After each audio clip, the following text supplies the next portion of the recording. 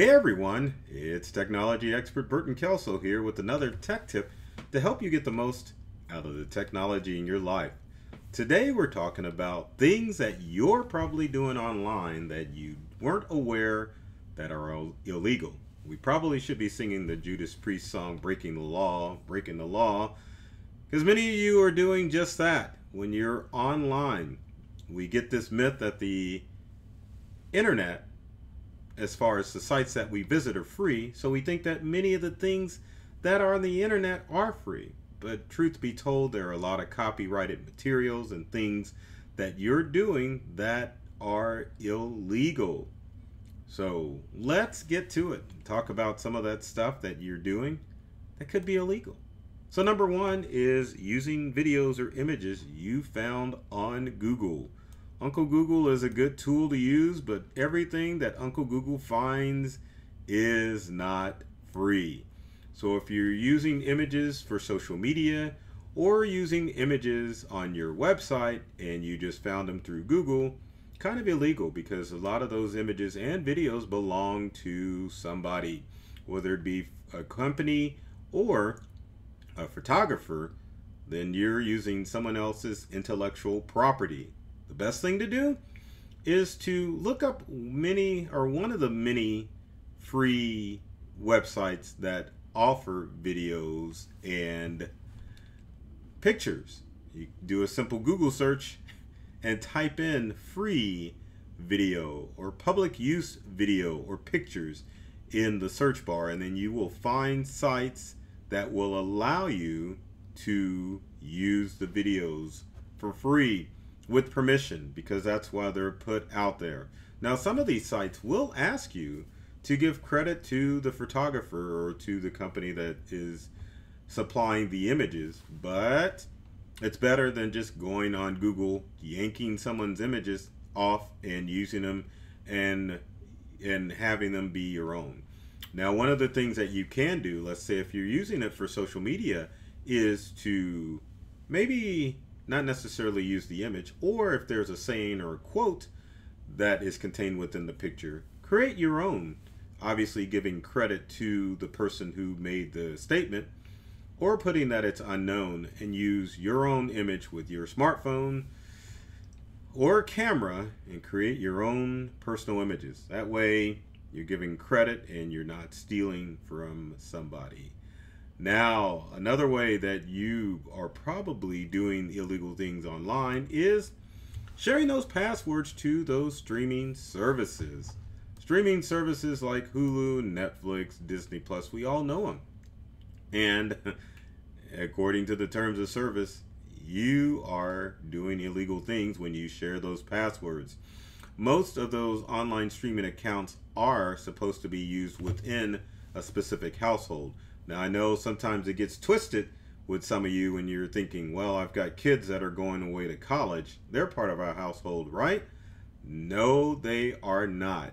Kids who are not living under the same roof or the same IP address are not legally supposed to be using those streaming services. They're only geared for one household, meaning the residence or the business that you're in any other services that you're sharing passwords with to, say Office 365 or any other online account. Not supposed to be sharing the passwords to those either because it's all under the same roof.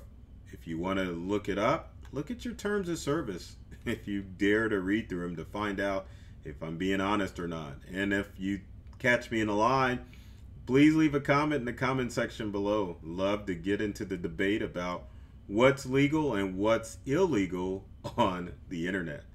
So number three, or actually I'm not even really numbering these. I should just say the next item up for bids is download videos from YouTube. So when you download a video from YouTube, it is illegal. And YouTube actually will go through the practice of taking down or marking videos that are not supposed to be uploaded.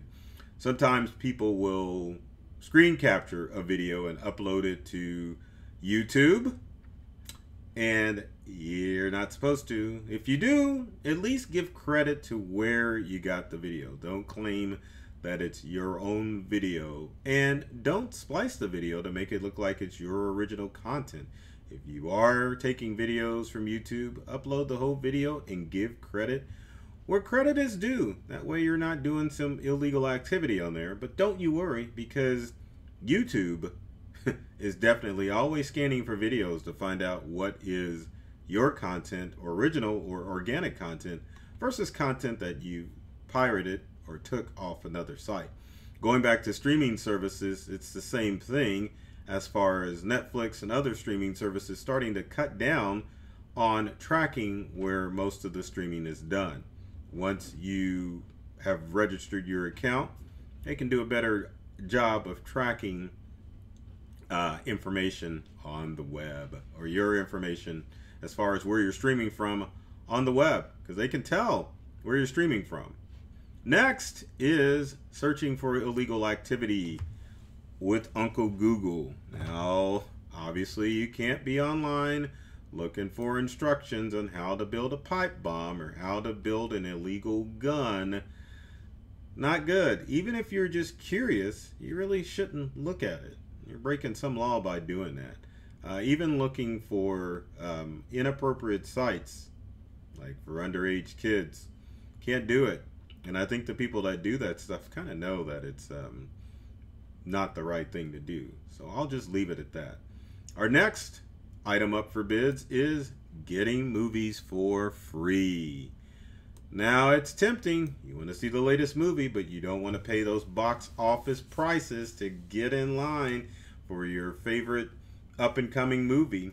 For some people, it's a badge of honor to be able to see a movie the first weekend it came out, or to download a pirated version or a grainy version off the internet.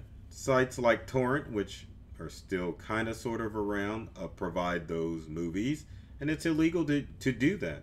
Kind of like the old days of Napster. I think I should have included music on there, but I think most people aren't looking for music because you can download it on most streaming services um, like Pandora or Spotify. And you can even pay a little bit for Spotify to get the whole release from an artist and create your own playlist. Really, no reason to do it, but for some people, free movies, free music is the thing. Even getting those Kodi or those pirated um, Amazon streaming sticks is illegal. You can't do it because that's copyrighted material, even though it's released to the public. Doesn't mean that you get to do whatever you want to do with it. Our next item is sending spam, and this is for people who want to send out mass emails. So those messages you see on LinkedIn, spam, it's illegal. Can't send it out or just one generic message. Even if it pops up in your inbox, it's spam. So if you're a small business user or just an individual that wants to get some information out, it's not not legal. You've got to get permission from the person before you send out those messages. If you use newsletter services like Constant Contact and MailChimp, obviously you have to get permission to send email out to the sender some people will just commandeer your email. You go to a, a convention or you inquire about something. Next thing you know, you're on someone's mail list. It's illegal. So don't you do it, even though other people out there are doing that sort of thing. Not the right thing to do. Next, which I think is kind of makes sense, is that being unkind online is illegal. You can't dox, you can't cyberbully, you can't be mean to people, and it doesn't matter which platform. It's just frowned upon universally, and it's illegal. Things like doxing, which is sharing someone's real address online, you can't do. Swatting, which is another popular item that kids and adults will do when in do- not doxing, but swatting is the act of sending law enforcement over to someone's house when claiming that there is an issue, but there's really no issue. So the message that you should get from that is just to be kind online and make sure that you're treating people nice and not mean, horrible things. People stop. And then I think the last thing that we can talk about is gathering information of children under the age of 13. There is something called COPA, the Child Online Protection Act, which protects children under 13 as far as activities online. Specific websites um, have to follow the rules of COPA to make sure kids aren't getting into inappropriate things. But maybe you were thinking of looking up little Johnny's number for little Bobby and Susie's birthday party. And you start to do a search to find out if they're on social media. Can't do that, especially if they're underage. It's illegal and it's called COPA.